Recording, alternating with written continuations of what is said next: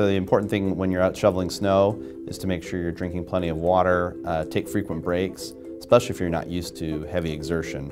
The other thing to watch out for would be if you start shoveling snow and you develop any type of chest pain, chest pressure, tightness, uh, shortness of breath, uh, numbness or tingling, you should immediately probably get inside, uh, rest. If those symptoms are not getting any better, you, it's best to call 911 for medical help. If your children are out playing for a prolonged period of time, have them come in, take a break, let them warm up, get them some water or something else to drink.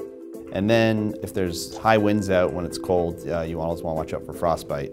So again, those things can be, uh, they can affect the fingers, the nose, the ears.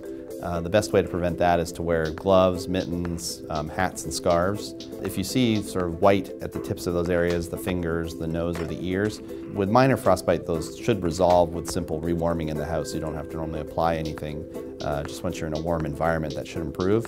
If it's not and you're having severe pain in any of those areas, then again, it's probably good to seek medical attention.